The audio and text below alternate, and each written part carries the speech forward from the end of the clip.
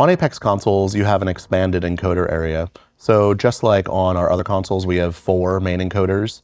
And just like on TI, we have two dedicated pan and tilt encoders, and those are all haptic as before.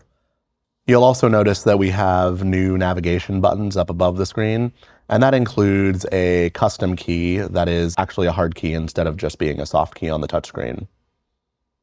And then to the left, there are nine mini encoders. Your bottom mini encoder is reserved for navigation and configuration. So I can push down on that mini encoder and you'll see I get some options for how to configure it. The mini encoders can operate in two modes.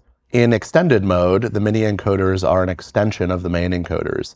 So my main encoders can be on page one, and you'll see that my mini encoders show page two and page three of the same parameters.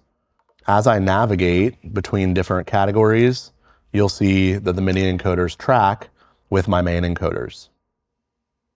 The other mode I can operate my mini encoders in is independent mode. So I'm just going to change that to independent. Now you'll see I have the ability to change the mini encoder category separately from the main encoders. And as I rotate my bottom encoder, it will page through all of the different categories, one behind the other. I'm going to go ahead and close that and grab a channel just like on my main encoders where I can expand the functions of that parameter out to the center of my screen, I can do the same thing on my mini encoders. So I'm going to touch my three buttons here, and you'll notice that I get my min, max, and home buttons for yellow.